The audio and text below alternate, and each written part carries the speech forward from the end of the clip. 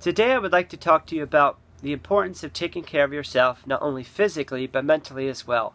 Because unless you take care of yourself both mentally and physically, you will not be very successful in life, nor will you be a balanced, well rounded, healthy individual. By taking time to take care of yourself mentally, i.e., taking time to pray, meditate, go for a hike, walk, whatever it is you need to do to clear your head, You'll never be able to handle the stresses of life as efficiently as you should. And unless you can handle the stresses of life and the setbacks that come your way in a happy, healthy manner, you're never going to be successful or a very, well, good person to be around. You're going to be stressed out, snappy, short, irritated, and angry all the time. At the same token, if you don't take care of yourself physically, you're going to be sick and tired and just drained all the time. So, in addition to working out every day, or at least three to four times a week, I work out every day because it helps me focus and deal with my Tourette's energy and depression energy and whatnot.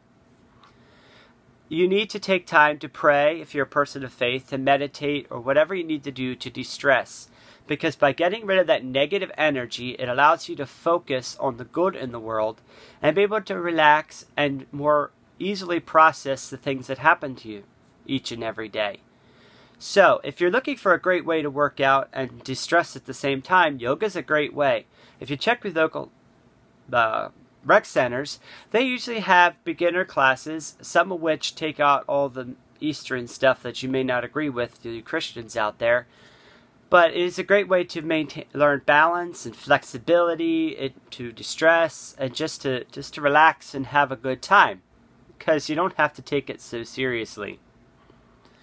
If yoga's not your thing, then pray, go for a hike, whatever it takes for you to just clear your head mentally. That way, you'll be a not only much happier person to be around and really enrich not only your life, but the lives of those around you. So that's my challenge to you to find a workout activity, whether that's running, swimming, a combination of whatever, to take care of yourself physically so that you're not feeling sluggish, to eat healthy, to get rid of those those trans fats, the processed sugars, and the artificial sweeteners, and the soda, and all those junk. Not that they're okay once in a while, not okay once in a while, but don't eat them all the time. Begin to eat your fruits and your vegetables and your meat, and just take care of yourself physically, and then take time to meditate, pray, whatever it takes to clear your head, and watch how you achieve goals that you never thought possible. Watch how you suddenly learn a patience and have a peace and a joy and a calmness you never thought you'd have in situations that normally would drive used to would have drove you crazy. Watch how you change in miraculous ways and achieve things you never thought possible. So that's my challenge to you. Comment below three things that you're going to do to calm down and clean your head out mentally, and three things that you are going to do to take care of yourself physically. And again, I'll add this. If you are having mental problems and diet and exercise and working out alone are not enough, please, please, please, please go see your mental health professional, your doctor, your general practitioner, somebody, and there is no shame on being medication. Yes, natural is always better, but if that alone is not helping, there is nothing wrong with using medicine in conjunction with diet and exercise and meditation. Please get the help you need and get back on track. I suffer, I have depression, I have anxiety.